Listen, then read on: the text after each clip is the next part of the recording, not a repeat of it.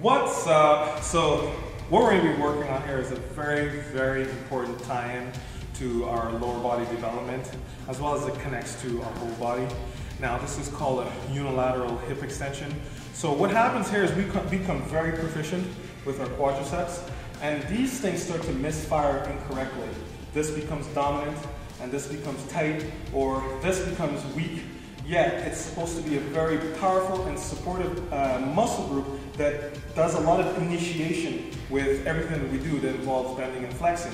So what we want to do is create balance by training, targeting these areas, but having them fire appropriately. So sometimes doing hamstring to deal with a hamstring issue is going to make things worse. We need to ensure that the sequence is proper. This is going to do that. So very healthy, very important.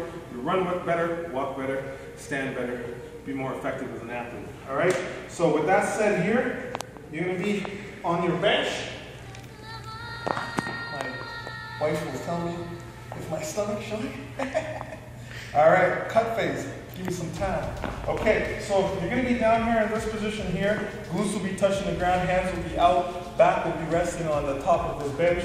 And so the only thing I'll ask before I start showing you is that when you're up here, you want this knee here to be 90 degrees. So you don't want it here. You don't want it out here. You want it at, at 90, all right? So what you're going to do is, to initiate the movement, you want to think it happening in the glutes. You'll feel some activation here, don't worry about it. You want to think about going into extension to the glutes first, and then let the tines come in as secondary movers. Let your head follow your torso. Glutes, let those glutes fire. Three, four, okay. Show you on the other side.